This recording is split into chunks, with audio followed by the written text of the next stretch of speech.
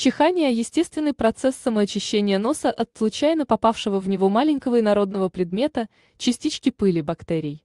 Вообще это естественный процесс, но если нужно чихнуть и не получается, есть и другие способы его вызывания. Однако следует помнить, что если в носовые ходы попал какой-то мелкий предмет, а чихание вызвать не удалось или удалось, но оно оказалось неплодотворным, то не следует тянуть время, а нужно показаться грамотному специалисту, врачу-отоларингологу. НТПП. Как заставить себя чихнуть? Капли в нос. Закапайте в нос сок каланхоя или свекольный сок. Можно закапать нос обычной водой. Или взять стакан воды и опустить в него кончик носа, не глубоко. Через несколько секунд достаньте, это может спровоцировать чихание. Нюхайте. Понюхайте черный, не красный. Молотый перец.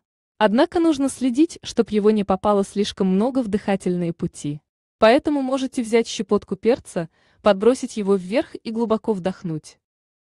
Или же насыпьте его на тарелку, сверху прикройте марлей, наклонитесь и медленно вдохните.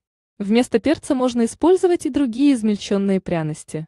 Хорошо помогает еще понюхать табак. Или просто медленно глубоко дышите носом. В аптеке продается чихательный порошок, приобретите и следуйте инструкции. Щекотка – раздражение слизистой оболочки. Возьмите носовой платок, сверните в трубочку и острым кончиком поворошите в носу. То же самое можно делать с бумажной салфеткой. Покрутите у самых ноздрей, не глубоко. Ватной палочкой. Можно сделать тонкий ватный жгутик, турунду и глубоко засунуть в нос. Пощекочите в носу перышком. Попробуйте выдернуть из носа волосок. Свет? Попробуйте посидеть, запрокинув голову назад. А затем посмотрите на солнце. Или просто посмотрите на яркий свет. Рядом со зрительным нервом находится тригеминальный нерв, который ответственен за чихание. Поэтому стимуляция одного нерва может спровоцировать раздражение другого. Холод. Вдохните холодный воздух. Если его нет на улице, то откройте морозилку и глубоко вдохните. Продукты. Пожуйте листочек мяты, мятный леденец или жевательную резинку.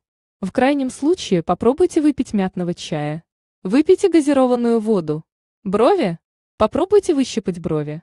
Раздражение мышц век может стимулировать возникновение чихания. Или аккуратно почешите место рядом с бровями.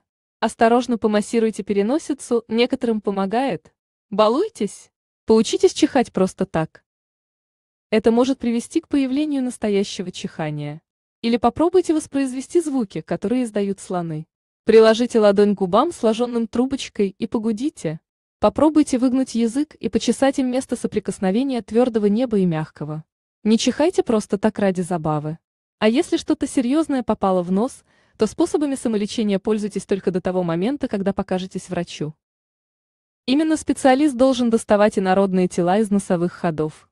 Не откладывайте визит к нему. Ставьте лайки. Подписывайтесь на канал. Всем пока!